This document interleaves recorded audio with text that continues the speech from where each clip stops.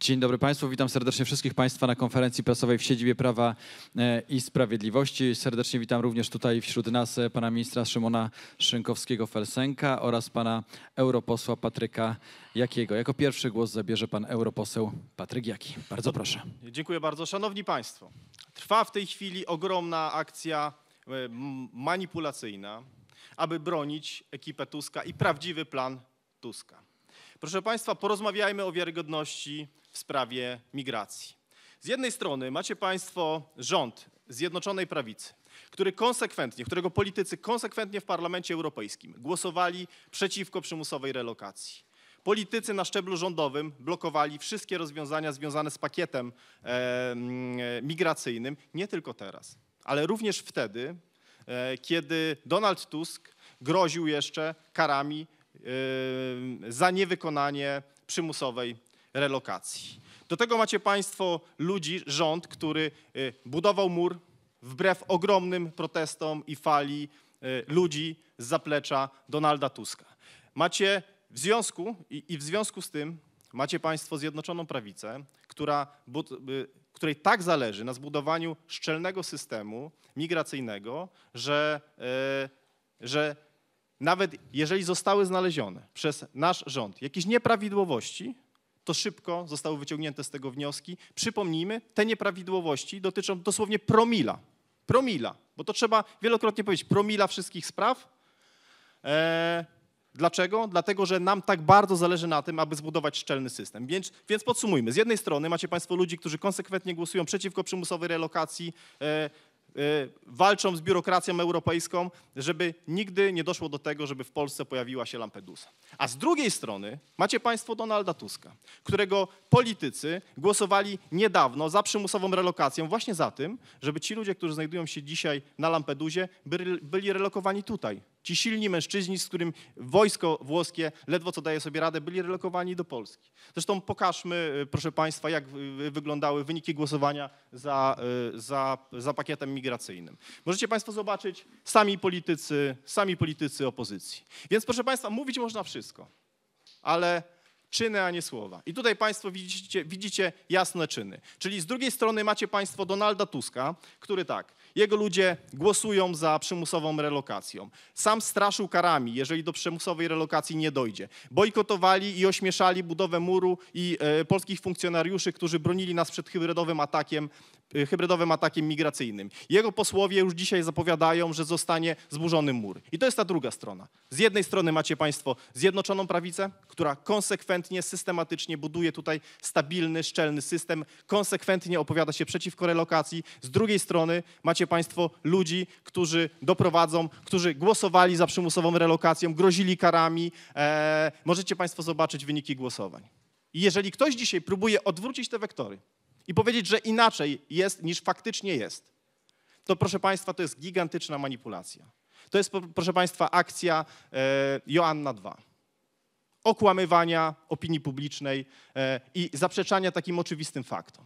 W związku z powyższym e, przypominamy, że wraz z wyborami odbędzie się referendum i warto głosować cztery razy nie. Warto zagłosować za tym, żeby Donald Tusk nie urządził tutaj w Polsce kolejnej Lampedusy. Bo jak Państwo wiecie, znamy zapowiedzi przewodniczącej Komisji Europejskiej, która mówi wprost, że trzeba będzie tych ludzi z Lampedusy relokować. Gdzie relokować? Tutaj macie, proszę Państwa, wyniki głosowań. Ci ludzie, opozycja mówiła relokować również do Polski. A dzisiaj udaje, że tego nie ma. Nie ma na to, proszę Państwa, naszej zgody. Pan minister, bardzo, bardzo proszę. Dziękuję serdecznie. Szanowni Państwo, polityka Platformy Obywatelskiej to polityka opowiadająca się za relokacją nielegalnych migrantów. Sięgnijmy do roku 2015, kiedy we wrześniu tamtego roku, tuż przed wyborami, rząd Platformy Obywatelskiej i PSL, rząd premier Ewy Kopacz łamie Solidarność Grupy Wyszehradzkiej e, i popiera relokację e, tysięcy migrantów. Wówczas nasi partnerzy z Grupy Wyszehradzkiej są zdumieni tą sytuacją. Po wyborach wygranych przez Zjednoczoną Prawicę bardzo długi czas zajmuje odzyskanie zaufania w ramach Grupy Wyszehradzkiej i zbudowanie kompromisu. Kompromisu, który zostaje przyjęty przez Radę Europejską w połowie 2018 roku, który zakłada dobrowolność mechanizmów relokacyjnych. Aż dwa i pół roku zajmuje odwrócenie tych skutków decyzji, które zostały przyjęte z poparciem rządu Platformy Obywatelskiej i PSL-u. Aż dwa i pół roku zajmuje odzyskanie wiarygodności wśród naszych partnerów z regionu, którzy byli zdziwieni, że polski rząd taką szkodliwą decyzję wspiera. Od 2018 roku e, może wydawać się, że mm, od tych pomysłów odstąpiono, ale przychodzi rok 2023. 2023, kiedy te pomysły wracają, wracają, wracają w formule aktu e, prawnego i okazuje się, że rząd Zjednoczonej Prawicy jest tutaj konsekwentny, tak jak w 2015 roku natychmiast opowiedział się przeciwko wdrożeniu tego rodzaju mecha mechanizmom. W 2018 roku wywalczył dobrowolność. Natychmiast zgłaszamy sprzeciw na Radzie Unii Europejskiej. W czerwcu jesteśmy w gronie tych państw, które sprzeciwiają się tym rozwiązaniom. Ale okazuje się, że w Parlamencie Europejskim posłowie opozycji, posłowie Platformy Obywatelskiej nie zajmują takiego stanowiska, nie wspierają tego stanowiska polskiego rządu.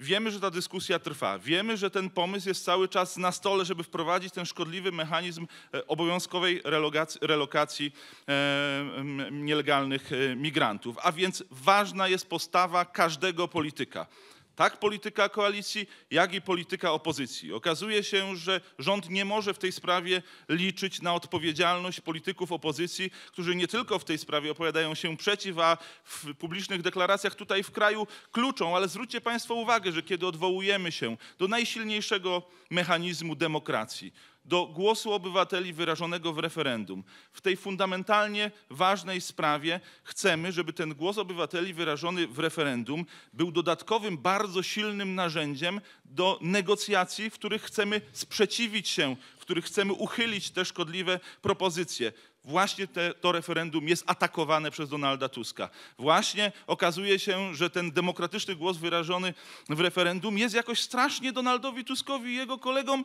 niewygodny. Dlaczego jest niewygodny? Ano właśnie dlatego, że Platforma Obywatelska jest partią opowiadającą się za relokacją e, nielegalnych migrantów i jeżeli okaże się, a jestem przekonany, że obywatele w tym referendum zarówno wezmą licznie udział, jak i wyrażą swój głos w sposób bardzo jednoznaczny, opowiedzą się przeciwko obowiązkowemu mechanizmowi relokacji, to będzie to dla Donalda Tuska niesłychanie niewygodny, a ważny przecież w debacie publicznej, kluczowy e, głos. Dlatego atakuje to referendum, dlatego nie chcę, żeby obywatele w tym referendum zabrali głos. Rząd Zjednoczonej Prawicy po pierwsze opowiada się zdecydowanie przeciwko wszystkim tego rodzaju szkodliwym mechanizmom, jest tutaj konsekwentny począwszy od 2015 roku, a po drugie głos obywateli jest dla, dla nas ma zawsze wartość fundamentalną i chcemy go słuchać. Proszę Państwa, jeszcze jedna, jeszcze jedna rzecz. Mianowicie politycy Platformy Obywatelskiej chodzą teraz i opowiadają media, w mediach, że przecież nie ma problemu, bo będzie można się wykupić Zresztą swoją drogą, wiecie Państwo, no, e, płacenie za y, y, możliwość wykupienia się na migrantów z Afryki, gdzie Unia płaci za nich naście razy więcej niż za Ukraińców, którym Polska pomogła, to jest po prostu jakiś rasistowski skandal. Natomiast pomijając w ogóle to, ja chcę Państwu wszystkim przypomnieć i warto sięgać do dokumentów europejskich. Otóż możliwość tego wykupienia się pojawiło się dopiero w projekcie Rady. Politycy Platformy Obywatelskiej, w ogóle opozycji, jak Państwo możecie zobaczyć z tyłu, głosowali za tym, e, za projektem, gdzie nie ma takiej możliwości. Relokacja jest przymusowa i Komisja Europejska ustali kwotę do tej relokacji. I warto, żeby o tym pamiętać. I jeszcze jedno chcemy Państwu dzisiaj przekazać. Mianowicie nie będzie tak, że politycy Platformy Obywatelskiej z Tuskiem na czele będą się chowali za wygodną osłoną TVN-owską, żeby ludzie się nie dowiedzieli, jakie mają plany. W związku z tym zapowiadamy akcję. Wyniki głosowań w Parlamencie Europejskim, bo Państwu powiemy, mówić można wszystko, głosowania. Wyniki głosowań w Parlamencie Europejskim przez najbliższe 10 godzin będą przyklejane na biurach Platformy Obywatelskiej w całej Polsce. Żeby wszyscy wiedzieli, jaka jest prawda. Kto ma wiarygodność w sprawie migracji? Dość tych kłamstw. Tusk równa się Lampedusa w Polsce. Jeżeli dopuścimy do władzy Tuska, skończy się właśnie tak, jak widzimy dzisiaj obrazki we Włoszech. Nie możemy się na to zgodzić, póki Polska należy do najbezpieczniejszych państw w Europie. Szanowni Państwo, to jest właśnie ta wielka hipokryzja obłuda Platformy Obywatelskiej, która w kraju mówi zupełnie co innego, chociaż niektórym politykom już ostatnio e, wymyka się spod kontroli to, co mówią, bo chociażby wypowiedź pana Łąckiego wskazuje e, na to, iż e, de facto zdania kompletnie w tej sprawie nie zmienili, a w Parlamencie Europejskim robią zupełnie co innego, głosują za przymusową relokacją, czego dowodem są te głosowania za naszymi plecami. To nie są głosowania sprzed kilku lat, to są głosowania dosłownie sprzed kilku miesięcy, ponieważ temat przymusowej relokacji ponownie wrócił na agendę y, Unii Europejskiej. I to, co, na co warto również jeszcze raz zwrócić uwagę, dlaczego wrócił? Ponieważ ponownie nasiliła się presja migracyjna na Europę. I świadkami jesteśmy teraz od co najmniej kilku dni gigantycznego kryzysu humanitarnego na Lampedusie. Kilka tysięcy nielegalnych migrantów, którzy przypływają na malutkich łódkach, pontonach, bardzo często tracą również po drodze swoje życie, po to, by dostać się oczywiście do Europy. Te osoby, które przypływają do bram Europy, do, na południe Europy, między innymi właśnie do Włoch, na tą malutką wysepkę na Lampedusę, bardzo często są bez dokumentów albo te dokumenty są podrobione. Bardzo często również, proszę Państwa, jest trudna do ustalenia ich tożsamość, ponieważ mają obcięte opuszki palców, także nie mają linii papilarnych, z których można byłoby skutecznie zidentyfikować ich, e, ich tożsamość. To jest gigantyczny problem dla Europy. I w związku, z- w związku z tym kryzysem humanitarnym szefowa Komisji Europejskiej udała się tam w ostatnich e, godzinach e, po to, by zobaczyć, co się dzieje. I co, proszę Państwa? żadnej refleksji. Pomimo tego, że w 2014-2015 roku Komisja Europejska i w ogóle Unia Europejska pod kierunkiem właśnie de facto pani Merkel, de facto, bo przecież Niemcy mieli gigantyczny wpływ. y, Donald Tusk również przecież jako szef Rady Europejskiej m, także o tym y, decydował. Wówczas wdrożono, czy próbowano wdrożyć przymusowy mechanizm relokacji. Polska się skutecznie temu sprzeciwiła dzięki e, zmianie rządu. Taką decyzję podjęli Polacy w demokratycznych e, wyborach.